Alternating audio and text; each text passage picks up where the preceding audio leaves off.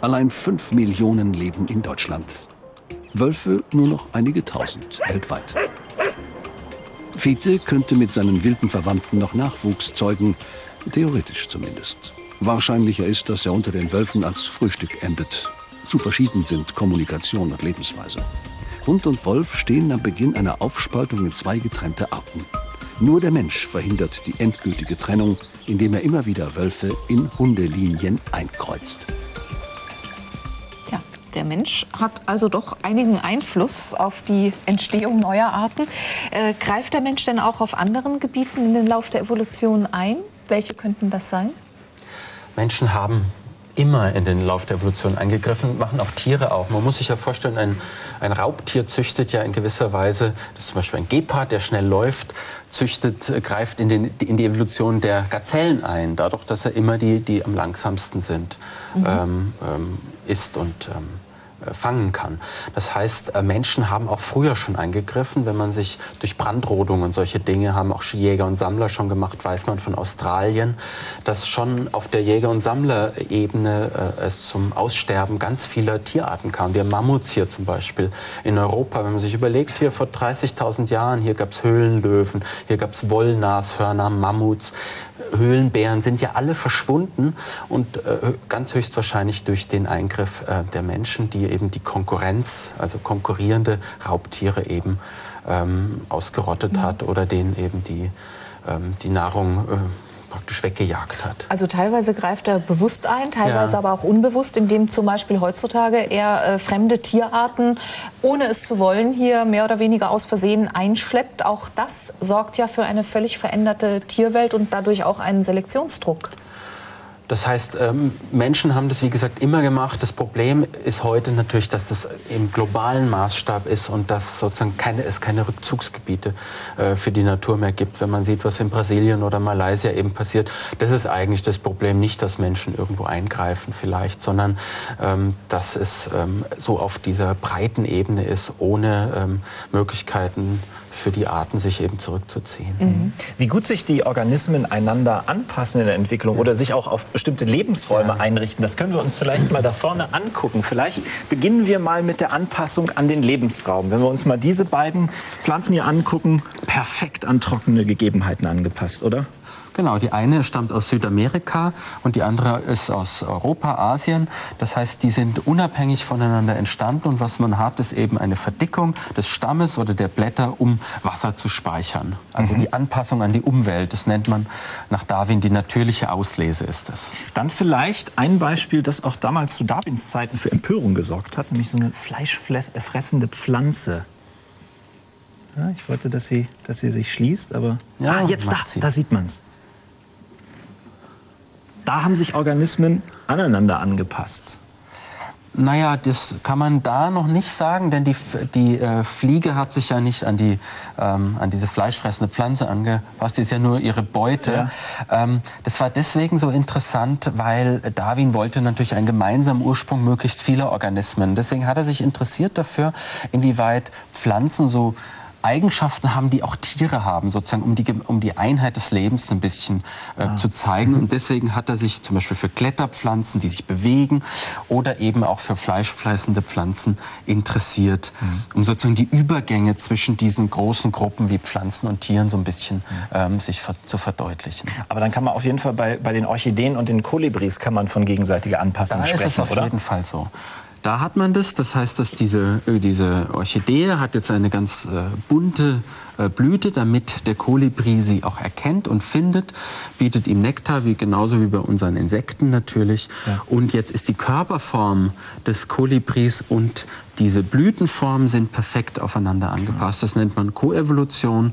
Und nichts anderes ist es auch mit den Menschen und den Hunden oder Wölfen gewesen. Die haben sich zwei Tierarten, die sich sozusagen ergänzen die sich gegengeben und nehmen und auf diese Weise sich aneinander anpassen. Wir würden natürlich sagen, dass die Wölfe sich eher an uns angepasst haben als wir an sie, aber mhm. vielleicht war es auch ein bisschen andersrum. Mhm. Gut. Dann wieder zurück zu Birgit. Ja, das Leben auf der Erde ist fein aufeinander abgestimmt. Einige Menschen glauben daher, dass ein solch kompliziertes System nicht einfach so zufällig entstanden sein kann, sondern dass ein göttlicher Schöpfer dahinter stehen muss. Sie nehmen weiterhin die Bibel wörtlich und glauben nicht an Evolution. Zum Beispiel Angel Diller. Das kleine Schulhaus liegt gleich hinter der Farm. Hier unterrichtet Angel Dillard ihre beiden Töchter jeden Tag. Die strenggläubige Christin traut wie ihr Mann den staatlichen Schulen nicht. Heute auf dem Lehrplan die Erschaffung der Welt, das Lehrbuch, die Bibel, Genesis 1. Im Anfang erschuf Gott Himmel und Erde und er sprach zu den Menschen, seid fruchtbar und mehret euch. We are created wir wurden von Gott erschaffen. Er hat das Leben auf die Erde gebracht und wir müssen nach seiner Moralvorstellung leben. Und genau das müssen wir an unsere Kinder weitergeben.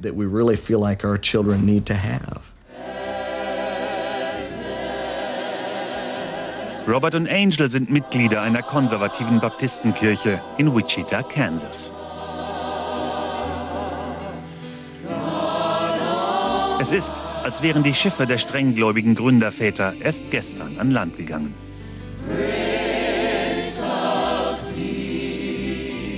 Die Gemeinde glaubt wörtlich an die Schöpfungsgeschichte. Diese Überzeugung geben sie auch an die Jüngsten weiter. Der Pastor zitiert genüsslich von der Titelseite der örtlichen Zeitung. Was denken die Bürger von Kansas über die Evolution? Die Umfrage ist eindeutig. Weit mehr Menschen in Kansas glauben an die Schöpfung als an die Evolution. Ist das nicht wunderbar? Die verstörten Liberalen sind schockiert. Und nur weil so viele Menschen glauben, dass Gott die Welt erschaffen hat. Sechs Autostunden südlich, Glenrose, Texas. Hier wollen die Anhänger der Schöpfungslehre beweisen, dass die Dinosaurier nicht vor Millionen Jahren auf der Erde lebten, sondern vor wenigen tausend Jahren, gemäß der Beschreibung im Alten Testament. Glenrose ist bekannt für seine Dinosaurierfunde. Im nahen Nationalpark kann man die Spuren der Ungetüme aus der Nähe betrachten. Wenige Meilen flussaufwärts die christliche Forschertruppe. Ihr Führer Dr. Charles Bow. Diese Ausgrabungsstätte ist das wissenschaftliche Schlachtfeld der Nation. Wenn wir hier Fußspuren von Dinosauriern finden und menschliche Fußspuren dazwischen oder sogar in ihnen, ist endlich bewiesen, dass Mensch und Dinosaurier gleichzeitig auf der Erde lebten.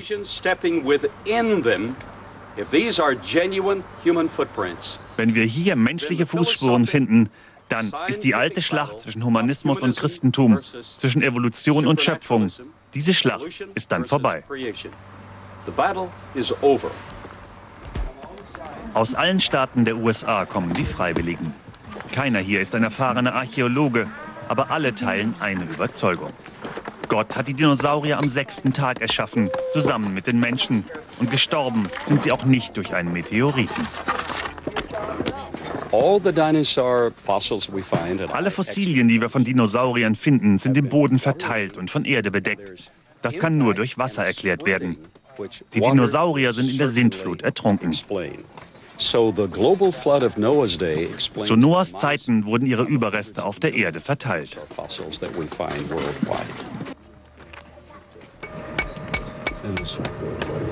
Der christliche Eifer in der Gluthitze eines texanischen Sommers wird belohnt. Der Ausgrabungsleiter findet, was er für eine menschliche Fußspur hält. Der Abgleich mit dem Fuß des ungläubigen Korrespondenten lässt keinen Zweifel. Der menschliche Vorfahre, der hier vor Tausenden von Jahren zwischen Dinosauriern herumschlich, hatte ziemlich genau Schuhgröße 46. Es gab keinen Urknall. Ich stamme nicht vom Affen ab oder gar von Amöben. Ich danke Gott, dass es all diese Beweise gibt. Und natürlich werde ich ihn die Wahrheit lehren. Von der Erde bist du genommen, zur Erde wirst du zurückkehren. Die christlichen Fundamentalisten in Amerika wenden sich kurz vor dem Durchbruch. Für sie steht fest, das Ende der Evolution ist nah. Der Glaube versetzt Berge. Ja, nochmal zusammengefasst. Die Kreationisten glauben also tatsächlich, äh, dass Gott alle Lebewesen in sechs Tagen erschaffen haben soll. Und das Ganze soll auch erst 6000 Jahre her sein. Ähm, es ist letztlich für unser Eins kaum nachvollziehbar, dass man das glauben kann. Für Wissenschaftler wahrscheinlich noch viel weniger als für unser Eins. Ähm, gibt es denn auch in Deutschland Anhänger dieser Glaubensrichtung? Ja, gar nicht so wenig. Also ich habe mal eine Statistik gehört, da sind es etwa 15 Prozent der Bundesbürger äh, nehmen an, dass das so war. Also dass die Arten vor, was weiß ich, äh, 10.000 Jahren oder 6.000 Jahren erschaffen wurden. Mhm. Man muss sich ja eins überlegen, wenn das stimmen würde, dann wird das ja nicht nur die Evolutionstheorie äh, betreffen, sondern die Geologie. Die Geologie gibt uns ja den Zeitrahmen vor. Wann ist der Grand Canyon beispielsweise entstanden? Wie lange hat es gedauert, bis diese Schichten sich abgelagert haben, bis der sich wieder eingeschnitten hat? Dann würde die Physik ja nicht stimmen. Die gibt uns ja diesen Zeitrahmen über die ähm, radioaktiven Substanzen.